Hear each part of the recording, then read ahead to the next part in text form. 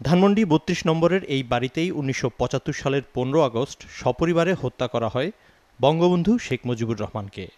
হত্যাকাণ্ডে চৌত্রিশ বছর পর ফাঁসির সাজাপ্রাপ্ত বারো জনের মধ্যে পাঁচজনকে ফাঁসিতে ঝুলিয়ে মৃত্যুদণ্ড কার্যকর করা হয়। এখনও পলাতক রয়েছে ছয়জন সরকারের আন্তরিকতা প্রমাণ আমরা খুব একটা পাইনি। পেয়েছি কিছু, কিন্তু যতটুকু পাওয়ার কথা ততটুকু পাইনি। প্রতি বছর আগস্ট এলেই বাকি খুনিদেরও দেশে এনে সাজা কার্যকরের আশ্বাস দেয় সরকার।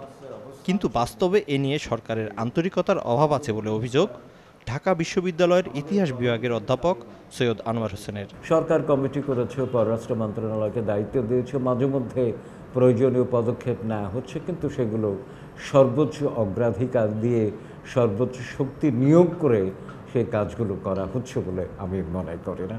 কারণ এখানেই কাজেই সরকারের আন্তরিকতা এবং ঐকান্তিকতা প্রশ্নবিদ্ধ থেকে যায়। তবে পররাষ্ট্র প্রতিমন্ত্রী জানিয়েছেন, পলাতক খুনিদের ফিরিয়ে আনতে অব্যাহত আছে তাদের কূটনৈতিক তৎপরতা। পনেরোই আগস্ট আসলেই যে আমরা এটা নিয়ে ভাবি কাজ করি তা নয়। আমরা এটা বছরে তিনশো পঁয়ষট্টি দিনই চব্বিশ ঘন্টায় ভাবি সেটি। মিটিং ঘন ঘন করাটাই এটা প্রমাণ করে না যে তারা দ্রুততার সাথে ফিরে আসবেন।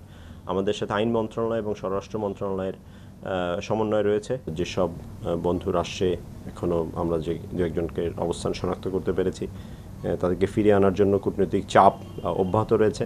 পাশাপাশি খুনিদের দেশে আনতে বিলম্বের কারণও ব্যাখ্যা করেন তিনি। এই যে ডিলে বা এই যে দীর্ঘ সময়টুকু লাগছে এটি কারও অবহেলার কারণে নয় এগুলি হচ্ছে আইনগত সেই সব দেশের বাধার কারণে একই সঙ্গে বঙ্গবন্ধুর পলাতক সব খুনিকে দেশে ফিরিয়ে এনে ফাঁসি কার্যকরের বিষয়ে নিজের আশাবাদও ব্যক্ত করেন শারিয়ার আলম। সামগ্রিকভাবে আমরা আশাবাদী যে আমরা সফল হব এবং একে একে সকল মিজান আহমেদ এসএ টিভি ঢাকা।